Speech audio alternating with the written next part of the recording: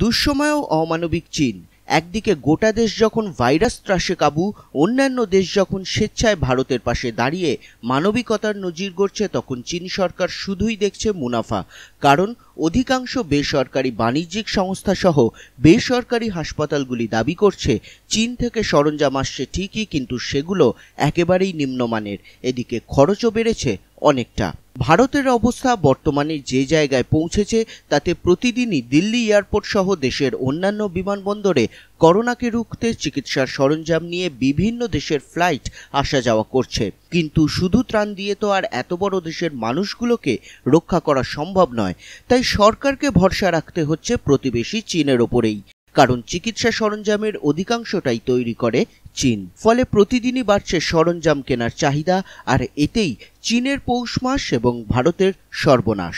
মূলত পাঁচ এবং দশ লিটারের অক্সিজেন সিলিন্ডার এবং কনসেন্ট্রেটর পাঠাচ্ছে চীনের সরকার, যার দাম চীনের এক একটি সংস্থা এক এক রকমভাবে দাবি করছে।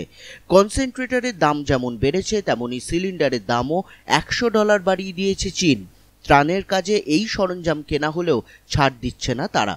দেশের বিশেষজ্ঞ মহলের দাবি, একে অতিরিক্ত দাম, তার ওপর সরঞ্জামের মান নিয়েও উঠছে প্রশ্ন। বলা হচ্ছে, চীন থেকে চিকিৎসার যে সরঞ্জাম আসছে, তা এক কথায় অত্যন্ত নিম্নমানের।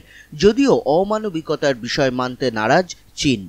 কিন্তু এই মুহূর্তে ভারতের কাছে শুধু অভিযোগ জানানো ছাড়া আর কোনো উপায় কি আছে? Bureau report, Business Prime News.